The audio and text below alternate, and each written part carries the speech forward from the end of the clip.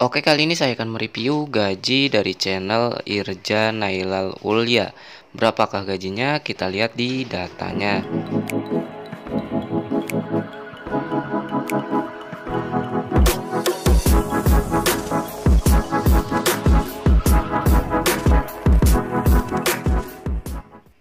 Ini dia channel dari Irja Nailal Ulya.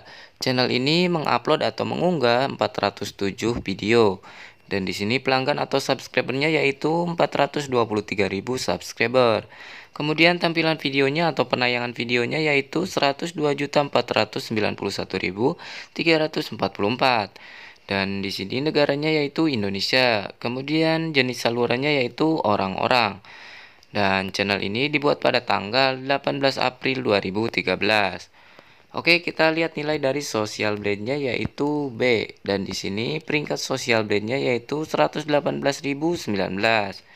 Kemudian peringkat pelanggan atau peringkat subscribernya yaitu 56.176. Dan peringkat penayangan videonya yaitu ke 49.097. Di sini peringkat negara Indonesia-nya yaitu ke 2010.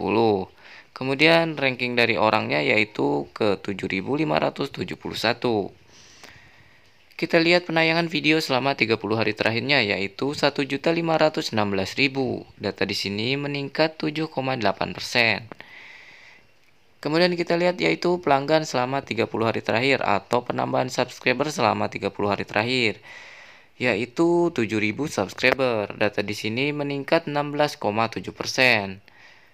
Kita lihat ke bawah yaitu data statistik penambahan subscriber dan juga perkiraan pendapatan harian dan mingguannya. Di sini rata-rata penambahan subscriber hariannya yaitu 234 subscriber dan rata-rata mingguannya yaitu 1630 subscriber. Kemudian kita lihat berapakah perkiraan pendapatan harian dan juga perkiraan mingguannya. Di sini perkiraan Pendapatan hariannya yaitu 13 dolar dan perkiraan mingguannya yaitu 88 dolar.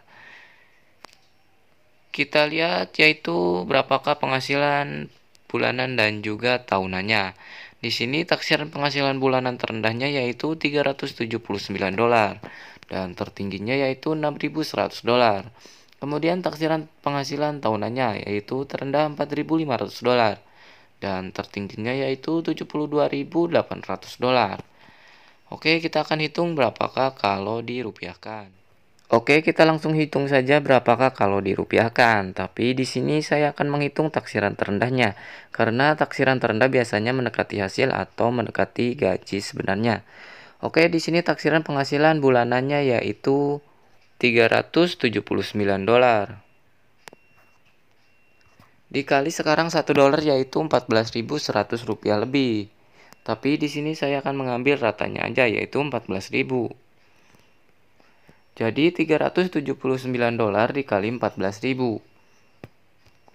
Hasilnya yaitu 5.306.000 itu adalah taksiran penghasilan bulanannya.